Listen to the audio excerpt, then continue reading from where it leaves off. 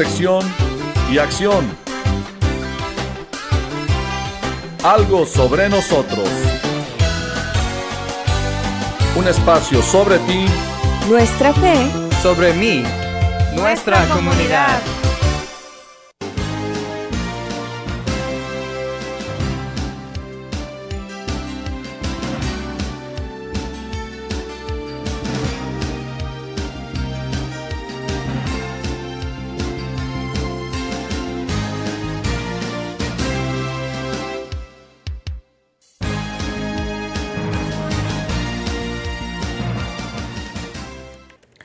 Hola amigos, ¿cómo están?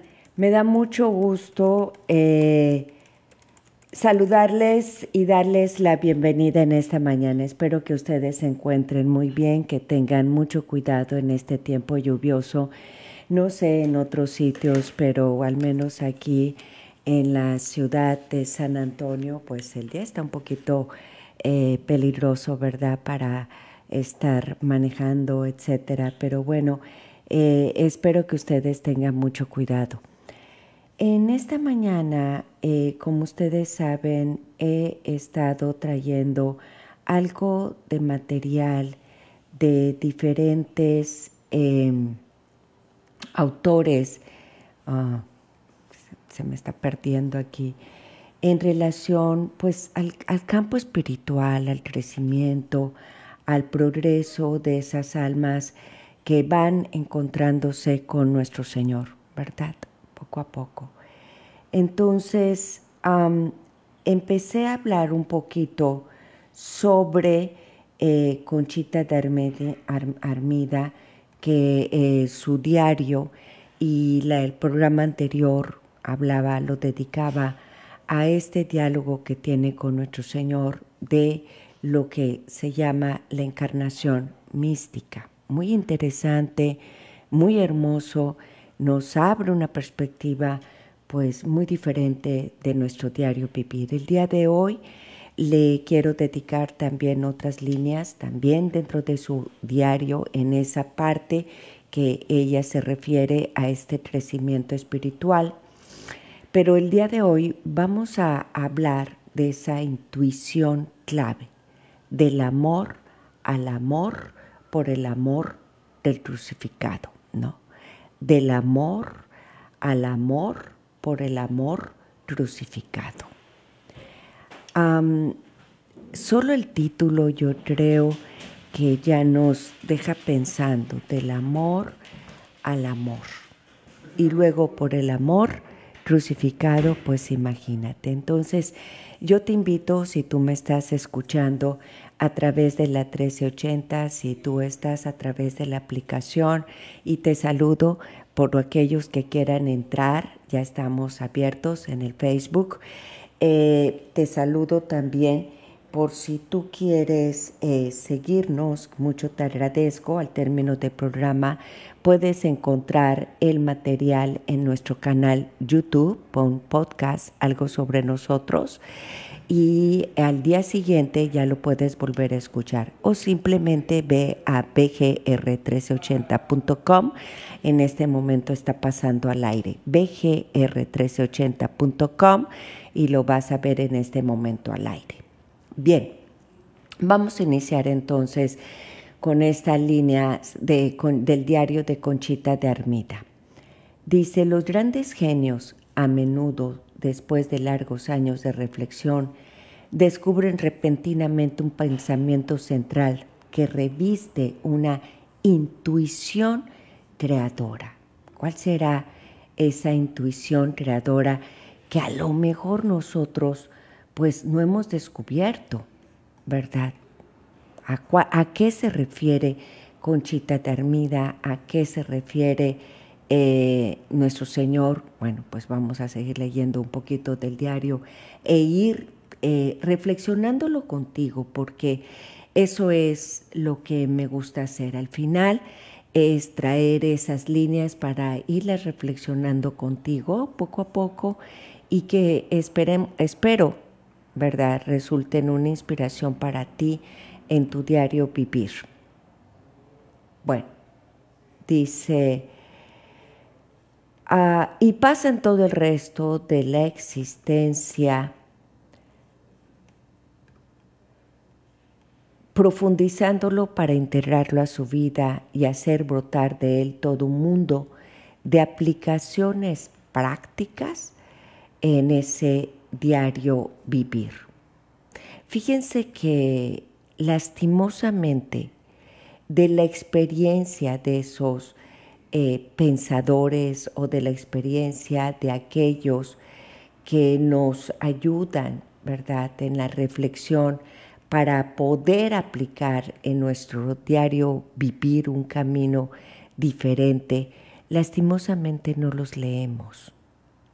Nos perdemos de un material tan enriquecedor y tan inspirador que va poniendo nuestra mente en un camino diferente totalmente. Es como cuando tú lees esos poemas de amor y, te inspira y te sientes enamorado y sientes que tú serías también capaz de escribir y contemplar las cosas más hermosas de la vida.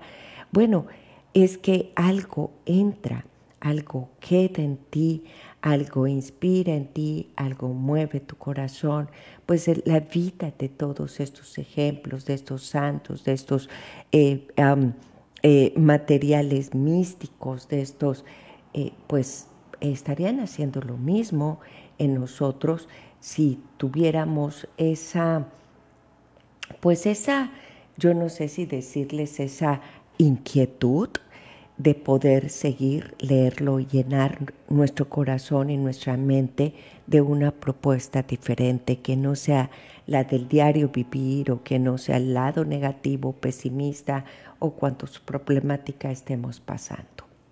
Bueno, eh, Santa Teresita, que acabamos de leer algo de ese caminito y cuyo mensaje esencial es hacernos como niños y vivir bajo dos virtudes esenciales, la confianza como el niño que se abandona en los brazos del Padre, ¿no? la confianza y el abandono.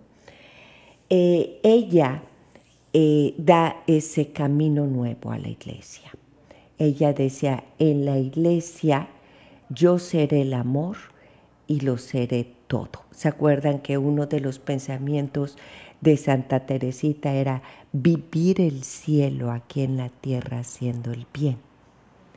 Bueno, pues profundamente conectado con ser el amor para todos, ¿no? Ahorita, ¿dónde estás? ¿Cómo estás? Bueno, en Conchita encontramos una idea semejante, una mirada profunda hacia el crucificado. Conchita nos hace reflexionar en el sufrimiento, en el papel del sacerdote, de víctima, de esa hostia que vivimos en cada Eucaristía y cómo nosotros formamos parte de ese cuerpo místico y de ese rol de víctima, porque ahí se sigue ofreciendo nuestro Señor, pero ahora con la iglesia, a, eh, en la Santa Eucaristía y al Padre. Bueno, a Santa Teresa de Ávila eh, se vio eh, cambiada totalmente. Bueno, durante los años de su vida, pues así Conchita empieza a tener luces del Espíritu Santo que le da directrices nuevas en su vida, particularmente bajo la espiritualidad de la cruz. Y la espiritualidad de la cruz, o en palabras de San Pablo, la doctrina de la cruz, pues decíamos anteriormente que es el Evangelio mismo, ¿no? Y la espiritualidad de la cruz de Conchita nos dice que en la cumbre Dios es amor. En el centro Cristo crucificado está. Pero cada uno de nosotros en nuestra parte, en nuestra propia vida, somos la respuesta del amor en una entrega total. Somos la respuesta de amor en una entrega total. Entonces, en la cumbre el amor, en el centro Cristo y nosotros somos la respuesta. ¿Y cuál sería esa la la respuesta, pues la entrega total. Entonces, esto es lo que inspira a Conchita en esa contemplación de su amor y su experiencia al amor del crucificado. Y esa es una nueva visión en ese poder retentor, el amor infinito que llama a unirse al amor y a identificarse por medio de la cruz. Dijéramos que esta es la fórmula central. El amor al amor por el amor, eh, por Cristo crucificado, por amor. La voy a volver a repetir. La fórmula sería del amor al amor por Cristo crucificado por amor. Yo amo tanto a Dios, a Cristo, que me entrego, en, me doy en entrega total por amor a Él. Esa es la respuesta. Bueno, quizás debiera ser nuestra respuesta, pero es la respuesta que busca Dios. Realmente lo que Dios en su mirada hacia ti busca una respuesta. Cuando alguien te mira, busca una respuesta. Hace unos días hablaba con alguien que le decía, estaba hablando y al hablar solo me miraba a mí, pero esa charla realmente su contenido no iba dirigido a mí. Yo decía, ¿por qué me mira a mí? Y ya después se lo pregunté. Le dije, oye, ¿por qué esas palabras eran para mí? Si no eran para ti, pues es que no me dejabas de mirar a mí. Me dice, la verdad es que eran los, la única mirada que encontré para poderme dirigir, ¿no? Los demás estaban en otro lado. Claro, cuando alguien te habla mirándote, está buscándote y quizás espera de ti una respuesta. Eso te pasa a ti. Cuando tú quieres tratar algo muy serio, tú esperas que tu esposo, tus hijos, la amiga, quien sea, esté mirándote. Te estás dirigiendo a ella y quizás lo que tú quieras es una respuesta para establecer ese diálogo. Nuestro Señor nos mira y nos mira siempre. Está buscándonos y espera en algún momento esa respuesta, lo que seamos capaces nosotros de responderle. Bueno, del amor al amor. ¿Y quién es ese amor? Dios es el amor. Cuando decimos Dios amor, Dios es amor. A veces me parece que la gente le cuesta más trabajo encontrar a ese Dios amoroso por sus propias circunstancias, los problemas que está pasando. Y entonces a mí me gusta más decir, hey, el amor tiene un nombre y es Dios. Creo que eso sería más fácil darnos cuenta que toda la experiencia de amor que tiene el hombre en su propia vida es y viene de Dios porque el amor es Dios. Si Dios no existiera siendo Él el amor por sí mismo, el hombre no conocería ni tendría la capacidad de amar. El amor es Dios. En esa mirada amorosa, en el nacimiento de un hijo, en el contemplar la flor, en el dar un beso al enamorado, el capaz, la capacidad de sentir las maripositas en el abdomen, es amor, ese afecto, esa relación de padre, hijos, hermanos, es amor. Ese es Dios. Es Dios. Entonces, nuestra vida espiritual está vinculada a ese concepto de Dios. Pero ¿quién es Dios? Nadie lo ha visto jamás. Y aquellos, como en el caso, recuerdas el pasaje de Moisés, allá en ese encuentro, en la zarza, bueno, que, que no podía ni verlo. Este, ¿Cómo? ¿Cómo describirlo? Cuando tú describes el amor, cada quien le pone un color, le pone una forma, le, quizás le pone un nombre. Si yo te dijera, descríbeme el amor, me dirías, pues es un corazón, es un color rojo, es una flor, es una rosa, ella es mi esposo, ella es mi hijo. De la misma manera, como el hombre requiere de hacer visible, de no dejar en abstracto algo que es tan real y que a lo mejor no somos capaces de verlo, pero tiene un nombre, tiene una experiencia, es real, es la experiencia del amor. Pues ese es Dios. Nosotros, el, el amor parece estar en lo invisible, en el aire, eh, se nos va, se nos fuga, realmente no hay una forma concreta. Bueno, pues así es Dios. No, decía alguien, cuando le preguntaban, bueno, ¿cómo es Dios? Dice, bueno, ¿has visto el aire? No, no, pues no. Eso no quiere decir que no exista. O el sol. Bueno, pues sí, la veo ahí, pero lo has tocado, eso no quiere decir que no exista. Yo te digo a ti que a lo mejor me estás viendo, me estás escuchando y eres de los que preguntan cómo será Dios, dónde está Dios, por qué no lo veo, etcétera, etcétera. Es la experiencia de amor. Cada quien tiene una manera descriptible totalmente diferente en un beso. Ese es Dios en el amor de mis padres. Ese es Dios. A mí me encanta el aire, me encanta el aire. Tiene más de dos meses, yo le digo a Adrián que yo platico con los árboles, ¿no? Porque os, oscilaba, usuaba, solía caminar buscando los árboles porque era como mi, mi encuentro, mi momento. No, ese es Dios. Ese es el, el momento de respirar y tomar ese sentido del diario vivir, reencontrarme conmigo misma, ese es Dios. Cada quien tiene un momento. El sentarte,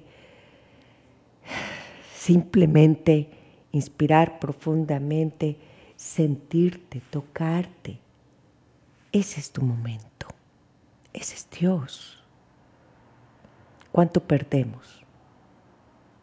¿Cuánto perdemos en experiencias tan simples, tan breves, tan fugaces? La presencia de Dios en tu vida. Bueno, eh, el dogma es la base de la mística, ¿no? Entonces, el misterio de la Trinidad y la encarnación del verbo, estas doctrinas, por eso hablamos de dogma, es la base de la espiritualidad, es la base de la espiritualidad cristiana. Entonces, toda la doctrina de la cruz depende justamente de vivir y de ver a ese Cristo crucificado por el amor. El amor se puede crucificar, claro, y duele, y duele mucho. ¿Cómo se crucifica el amor? Con la mentira, con la infidelidad, con la traición, con la crueldad, con la falta de caridad,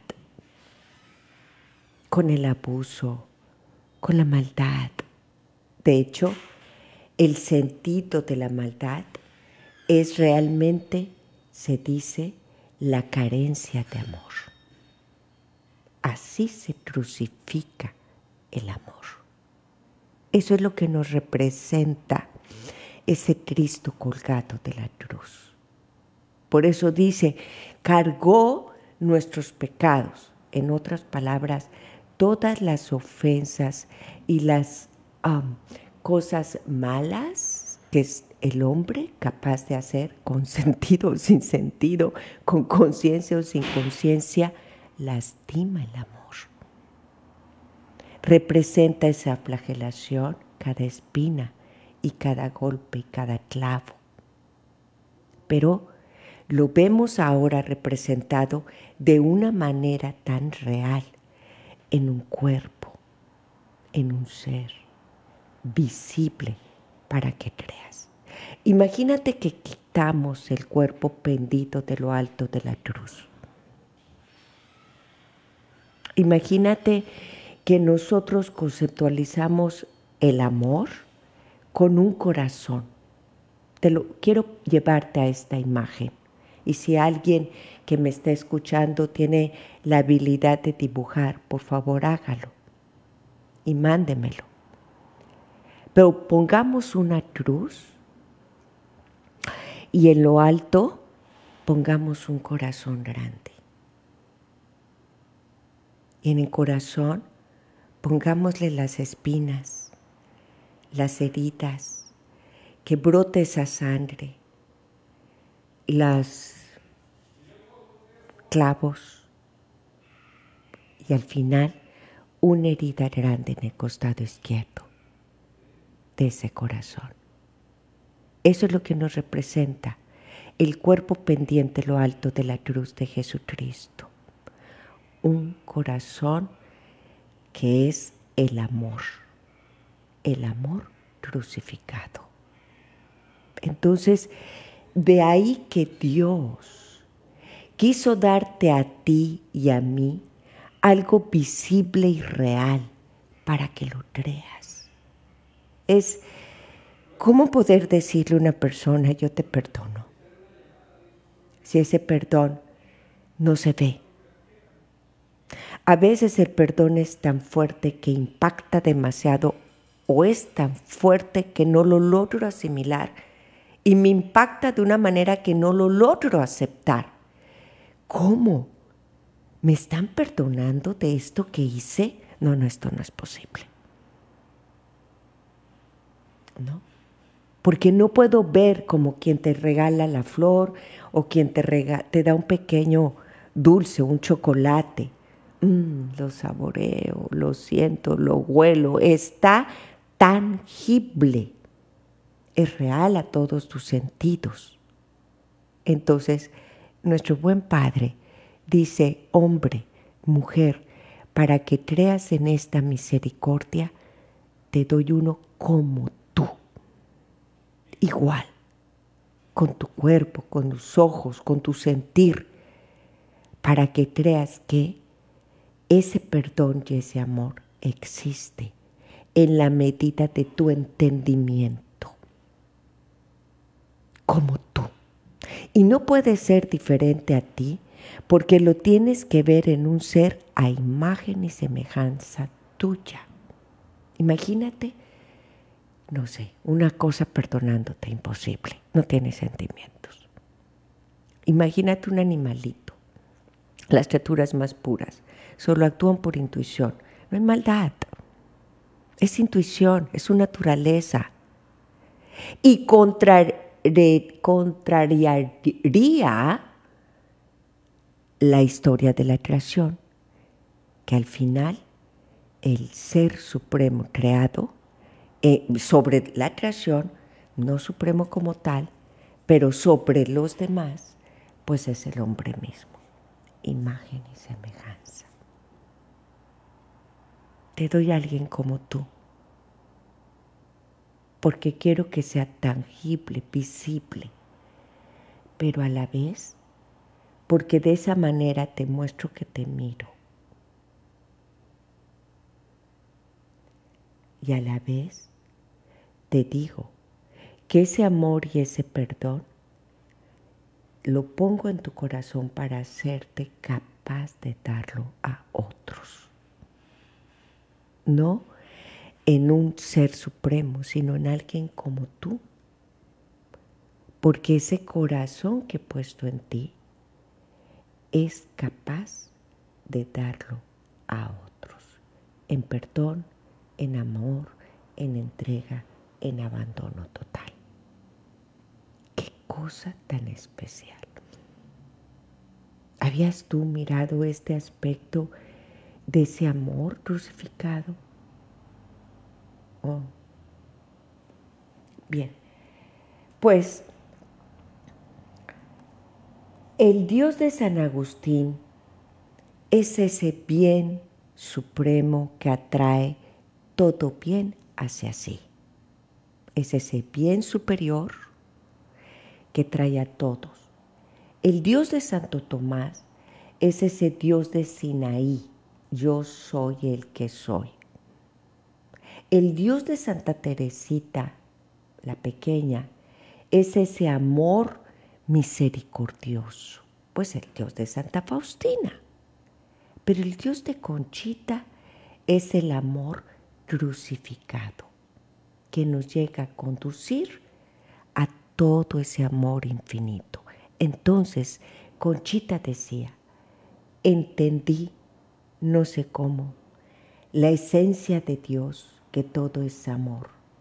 Esto mil veces lo he dicho y oído, pero no fue una cosa sobrenatural, un movimiento que hizo estremecer a mi alma, una luz que con la brillantez de un relámpago iluminó lo más secreto interno de mi espíritu y vi cómo Dios es amor. No solo tiene amor, sino que Él mismo es el amor eterno, el amor increado, el amor infinito. Si estamos ante un amor infinito, eterno y sobrenatural, esto ya nos dice a ti y a mí que es un amor supremo que no va a tener la misma capacidad ni de perdón ni de amor que el nuestro. Si tú consideras que tú no eres capaz de perdonar algo porque nuestro corazón es chiquito, Dios sí es capaz de perdonarte a ti y perdonar ese algo que para nosotros sería imperdonable. Porque solo Él tiene un amor infinito, eterno, ¿qué dije? Eterno e infinito. Supremo, ¿no? Creo que fue lo que dije. Es decir, infinito, no hay cantidad, no hay límite. Eterno, no hay tiempo. No hay límite, no hay tiempo. No te perdono esto o te lo perdono hasta tal fecha. Los hombres somos seres condicionantes. Te perdono sí, no. Si es en esta fecha, si es de esta forma, si es este tanto y cuanto. Si haces esto, si me cumples en esto, si tanto y cuanto. Pero el amor de Dios es incondicional, supremo, infinito, eterno. O sea, no tiene límite de ningún tipo. Ese Dios de Conchita es el Dios del Evangelio, así como nos lo presenta San Juan en el Primera de Juan, en el capítulo 4, 16. Vamos a leerlo. Primera de Juan, en el capítulo 4, 16.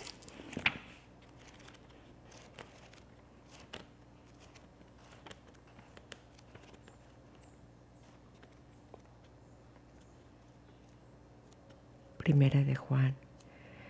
Ay, es que me quedé pensando, perdón, Perdón, perdón, perdón. Me quedé, estoy buscándolo, pero es que las palabras, yo no sé tú, perdóname, ¿verdad? Pero reflexionarlas, meditarlas, saborearlas, tocan el corazón. Tendríamos que ser totalmente insensibles para no percatarnos de lo que Dios pone al frente nuestro para buscarnos aunque eso que está al frente, y no porque Dios así lo quiera a veces, pues es una pena o es un dolor. Primera de Juan 4, 16, y dice así.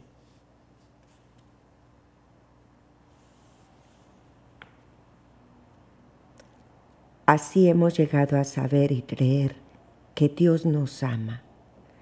Dios es amor y el que vive en el amor vive en Dios y Dios en él. Dios es amor. ¿Tienes tú amor en tu corazón? ¿Te has dado de tu cuenta de tu capacidad de afecto, de amar, aunque sea chiquito y limitado? Pues ahí está Dios. Esa es la relación con Dios. Ahí está Dios y Dios vive en él. ¿Qué hombre no tiene esta capacidad? Si fuimos creados a imagen y semejanza de Dios. ¿No? Este es el fundamento de esa doctrina espiritual. Si Dios es crucificado, es ante todo un Dios de amor. Porque además Él quiso darse. Él quiso decirte, te amo con locura. La locura de la cruz, diría San Pablo. Te amo con locura. Mi locura eres tú. Pero nosotros hacemos de esta locura de amor puesta en un hombre o puesta en una cosa o hasta en una mascota, pero no en Dios.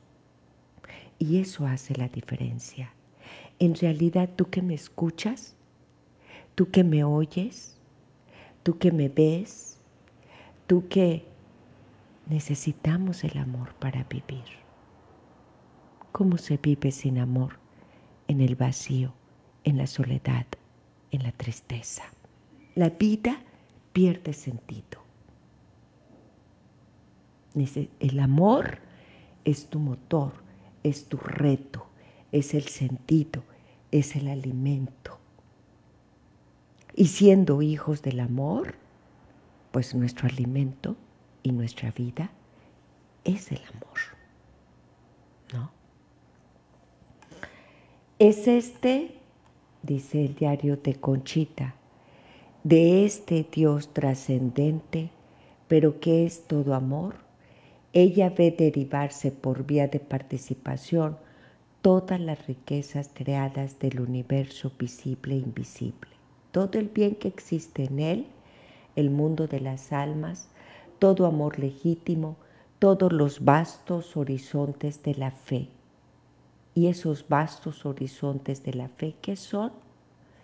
Estos vasos horizontes de la fe, pues son los misterios de la creación, de la encarnación, de la redención, de la muerte de Jesús crucificado, su sufrimiento en la cruz.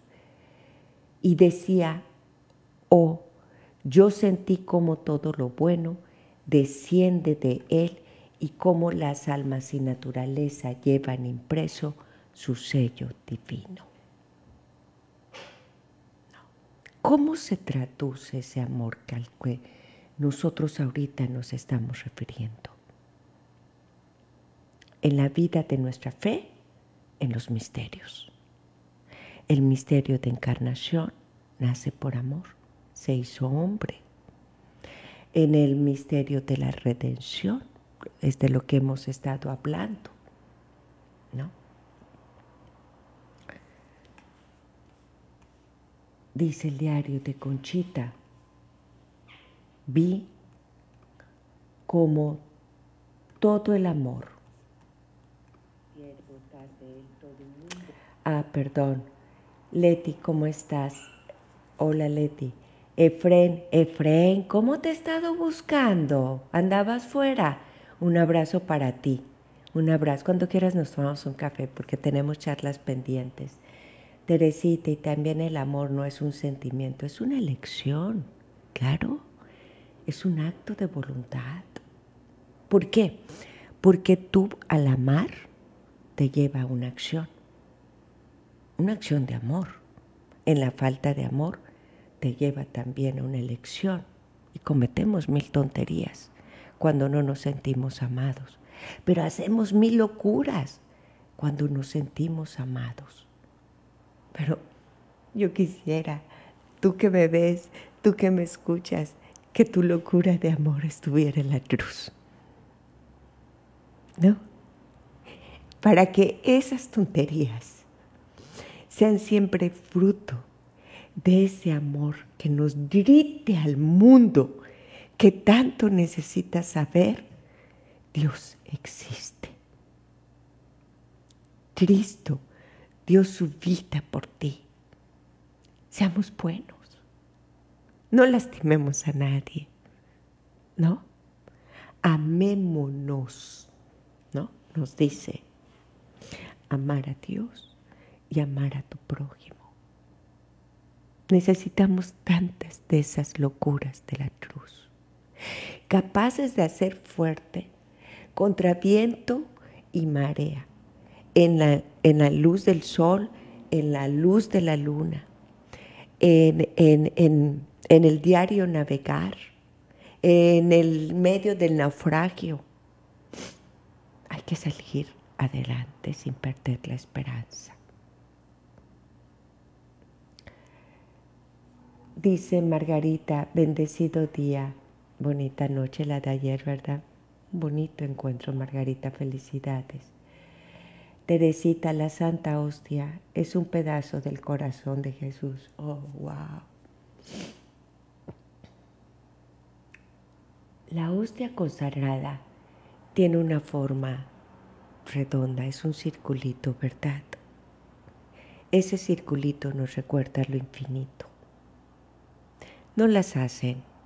Y no vería yo el caso que para que tú creyeras en el amor tengas que recibir esta santa hostia en una forma de corazón.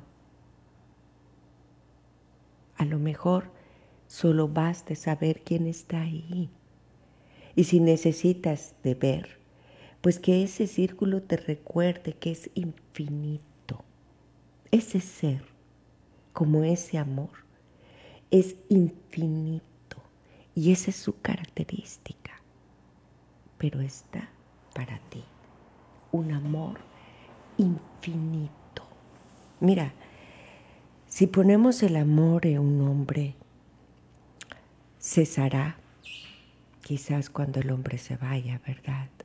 Cuando tenga su propio encuentro con el Señor. Y yo les digo, ahí no termina el amor. Cierto es el cuerpo se vuelve polvo, pero el amor persiste. A lo mejor no en ese corazón visible, latente, palpitante, pero sí en el tuyo, en lo que te dejó, en lo que agradeciste, en tus memorias, en lo que viviste, y nadie puede quitarte esa experiencia. Nadie. Entonces, el amor persiste. Es como poner a tu ambiente esa atmósfera. Esa aroma de amor. Mm. Pero ah, la necesitamos. Y tan el hombre necesita esa aroma ¿verdad? Que le inspire ese aroma que le motive, ese aroma que le descanse, ese aroma que mueva los sentidos, que por eso usamos perfumes. Tan simple. ¿Cierto? Se habla de ese aroma rosas, ¿no?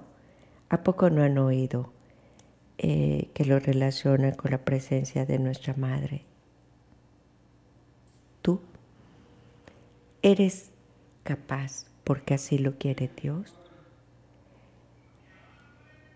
de ser ese aroma que traiga frescura a los demás, que traiga esperanza, que traiga ah, el recuerdo de algo dulce y sereno que tanto necesitamos en nuestra vida?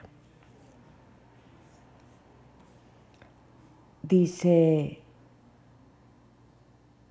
ah, Chayito, buenos días. Dice Teresita, el misterio de la cruz que a veces es pesada y a veces es ligera. Sí, sí, sí. Depende, ¿te acuerdas? Ya habíamos hablado de eso. Depende ¿qué le ponemos a cuestas? ¿Te acuerdas que hablábamos del saco de papas, no? Y a veces van podridas, ¿no? Pero a veces también es pesada porque no tengo la fuerza que solo viene de ese amor sobrenatural, infinito, supremo y eterno. Sino al contrario, me siento débil y cansado como para poder cargar algo a cuestas. Leti, mi hijo un día me dijo que él miraba un corazón cuando el sacerdote parte la Eucaristía y une los pedacitos para hacer la oración eucarística. Sí, sí, Leti, tiene tu hijo toda la razón. Es lo mismo que me pasa a mí, porque al partirla a la mitad y luego la une, esa unión es perfecta. Entonces, queda esa formita, obsérvenla. Y a veces me hace pensar que esa imperfección o esa ruptura es nuestro corazón, ¿no? Cuando está sin Dios o cuando le ofende. Hacemos de su corazón, de ese amor infinito y supremo, una herida o una cicatriz. Nosotros llevamos muchas en el alma, o sea, muchas en el corazón. Pero si nos vamos llenando de amor y amor y amor, se van cicatrizando, se van secando, se van cayendo. Puede que quede una línea. ¿Por qué, Gloria? Simple, porque fue una experiencia. Pero ya no duele. ¿Cierto? Bien. Dice, también te quiere decir que está quebrada, pero de pie, como Cristo en la cruz. ¿Cierto? También. Vamos al diario de Conchita. Vi cómo todo amor legítimo y santo que llena el corazón del hombre es una gota de aquel océano insondable. Esta palabra cuando nos recuerda, cuando hablamos de términos de la misericordia, no es un mar, es un océano insondable. Un rayo luminoso de aquella inmensa luz Sentí como el amor se desprende o sale de aquel foco de caridad infinita que eres tú. Y cómo te complaces en poner en el corazón del hombre esa sed de amar insaciable que no puede satisfacerse con lo caduco y, finito, sino con lo imperecedero o infinito. Sentí como las almas son una parte de Dios, un soplo de esencia, un aliento producido por su Santo Espíritu. ¿Qué tal? Por supuesto que esta clase de amor que nos está describiendo Conchita es ese amor que repasa nuestro propio entendimiento. Porque yo decía anteriormente, el amor del hombre es finito e incluso caduco, o sea, es finito, no es perecedero. A veces nuestro amor no solo lo condicionamos, sino es corruptible. Corruptible. El amor de Dios es perecedero.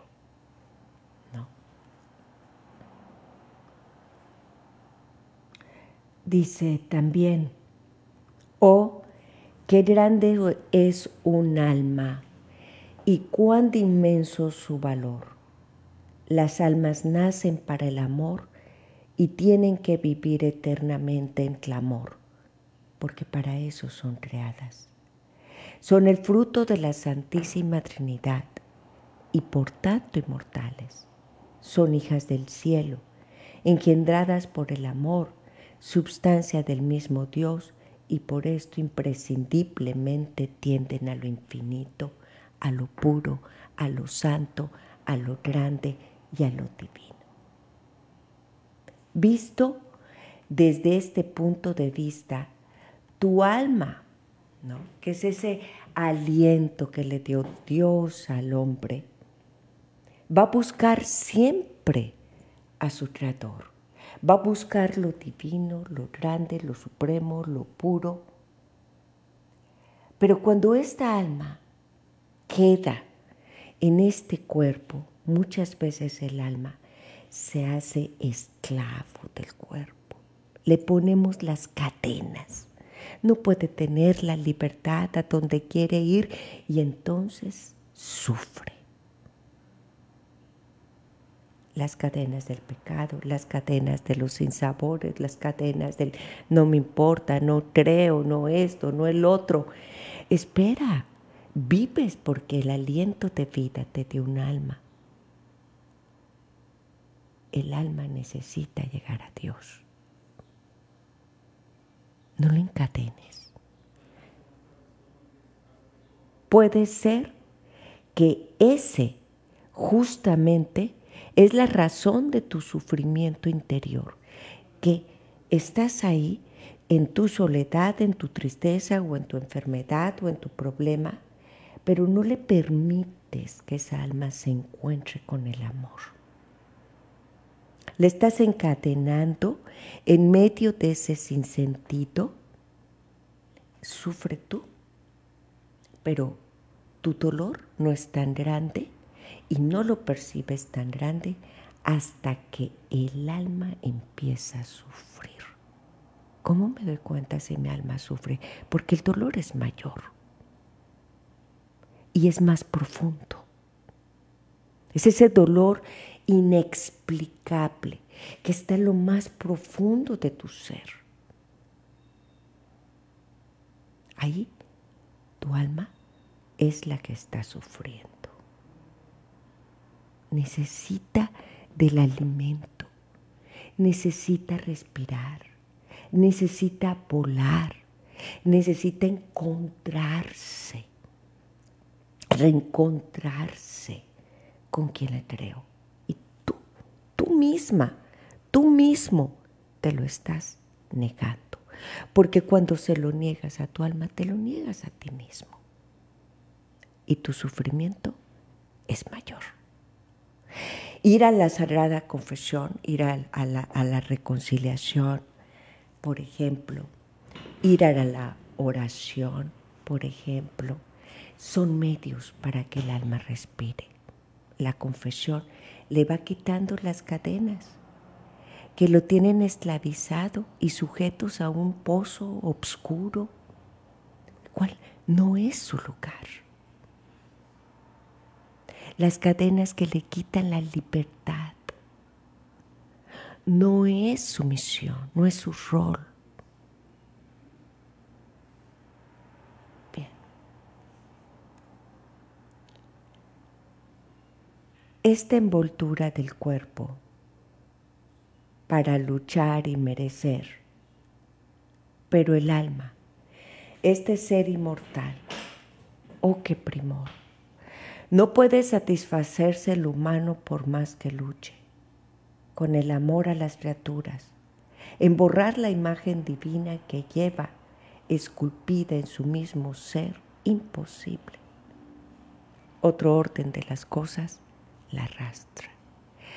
Y cuando este otro orden de cosas la arrastra, fuera de sí, por supuesto que la pierde. Por eso vamos caminando sin sentido. No nos damos cuenta que de ese orden del diario vivir lo distrajo de su camino y de su fin. Un más allá la llama constantemente. Una voz interna le grita mil y, mil veces, no es aquí tu destino, es arriba más arriba. Esta sed de lo divino arranca el corazón de la tierra, purificando los afectos terrenos, aún los más santos, lazándolos en aquel abismo, en aquel caos, en aquel mar sin fondo ni riberas de donde nació. Yo siento como el amor a mi marido, madre, hijos, familia y a todo lo material se ha concretado en uno solo y ese es Dios. Bueno, ¿por qué? Porque cuando eres capaz de tocar ese amor insondable, supremo, profundo, infinito, no puedes regresar a la superficie igual. Cuando el alma es capaz de reencontrarse, no va a regresar igual. Y lo ves en la mirada. Ya hay una esperanza, ya hay un aliento, ya hay un, hay un algo, ya hay una fuerza, hay una gracia para continuar tu camino. Qué lástima, hermano que me escuchas, hermana que me escuchas, qué lástima que nos perdamos con tan poco, dejándonos arrastrar por otros quehaceres, otros órdenes, y no por quién pertenecemos, a quién pertenecemos, y dejando que nuestra alma se alimente. Dice Prudencita, buenos días mi hermosa Gloria, a mí también me ha tocado la Santa Hostia en forma de corazón, ¿verdad que sí? Y qué bonito se ve, ¿no? Qué bonito se siente. Voy a cerrar entonces esta reflexión para ti eh, con este párrafo que dice, yo no sé lo que siento al vislumbrar aquel eterno fuego que hizo producir la creación efectuar la retención, que fundó la iglesia y la sostiene y que inflama todos los corazones. Y el que es el amor, ¿quién es sino el Espíritu Santo, término del amor? Él inspiró la creación, la redención, la encarnación, la muerte de cruz, el reinado del dolor y el apostolado de la cruz. Bueno, sabemos que Conchita es la fundadora, ¿verdad?, del apostolado de la cruz. Puede que no sea tu apostolado. En un sentido vital y básico, dijimos que la cruz es la base de nuestro evangelio.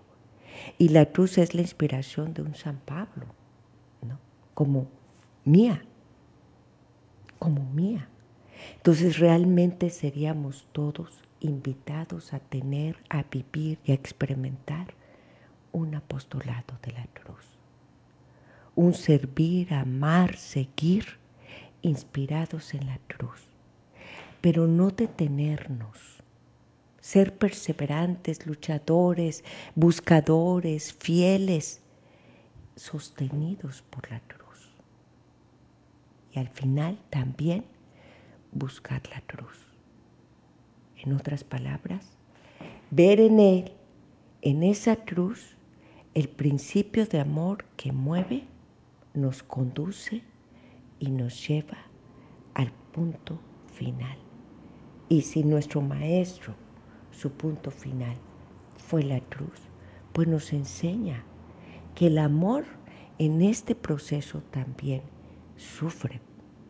Sin embargo, en ese sufrimiento es también camino para su eterna felicidad. ¿Cómo amas tú? ¿Cuál es la cruz?